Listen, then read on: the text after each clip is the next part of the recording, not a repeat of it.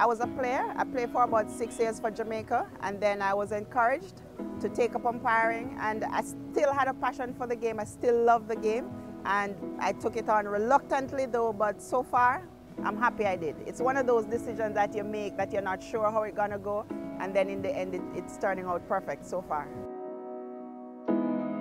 Umpiring wasn't something that was attractive to me. I can't remember going to a game and watching an umpire. You know, you go to the game and the umpire is there and that's it. In the end though, I, I, tend to like it. It's lovely. I have the best seat in the house. The passion is great. You know, you're in the middle and you're like, wow, you're still in it. With everything in life, whenever it's not the norm, then, you know, you're to find challenges. But I'm happy. I overcome them and, and um, I use some of those challenges as, as a stepping stone. Most of the games that I've umpired so far are, are men because um, back home we don't have a lot of female leagues and a lot of female games, so men's cricket is, you know, the core of what I do. It's just like the players. The players are a team. The group of us here are a team and we have a lot of fun together. You know, we have a lot of downtime. You know, we mimic around with each other. We have a lot of fun. It's just lovely. It's like a family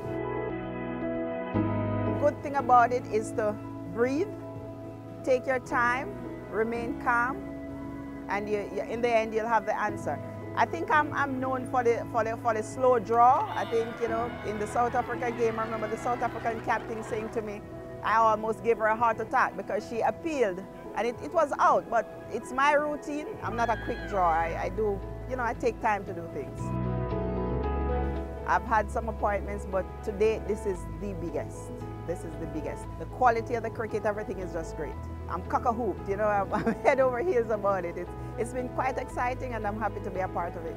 The world is coming to grips with what females can do and I'm a strong believer that we all can do everything. As long as you put your mind to it, we all can do. We may not have the physical strength, but sometimes mental strength works better than physical strength.